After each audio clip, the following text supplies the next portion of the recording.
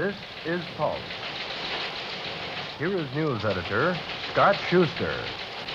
Good evening. It really was the biggest crowd ever assembled for a single performance in one place in the entire history of the world. It was tonight, and it was in Tampa. The name of the group, Led Zeppelin. They've been around for years, popular with the acid rock crowd, big on album sales. Tonight they broke the world record set by the Beatles, and Channel 13's John Jones watched it happen. Led Zeppelin played in Atlanta on their first stop of a nationwide tour, selling out there 49,239. That even beat the Beatles record. When a rock group attains a stature such as Led Zeppelin, they travel with their own jet, waiting at the airport, two limousines, and a police escort. Just 40 minutes showtime, Led Zeppelin arrives here at Tampa Air Center at the Tampa International Airport. I'm pleased to say that one of the group's four members has my same name. That's John Paul Jones, and he's their bass player. Jimmy Page is the lead guitarist. Robert Plant, lead singer. He's the one with the long curly hair. And John Bonham is the drummer. Robert, Jimmy, John, and John. Doesn't quite have the appeal of John, Paul, George, and Ringo, but they certainly do have the drawing power of the Beatles. If you were at Tampa Stadium tonight or anywhere nearby, that's the sort of thing you saw and heard.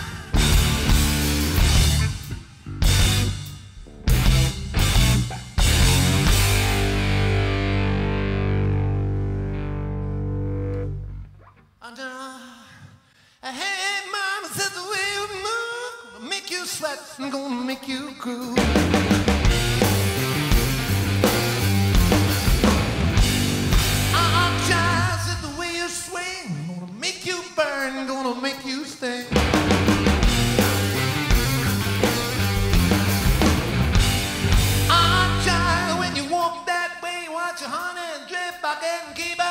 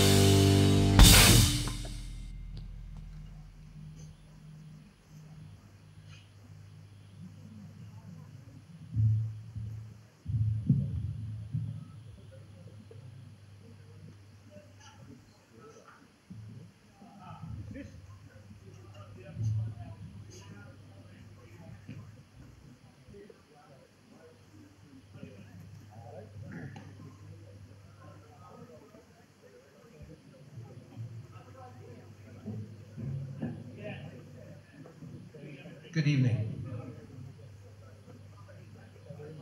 You can't get a blowjob in time. Good evening, good evening, good evening, good evening. Hasta.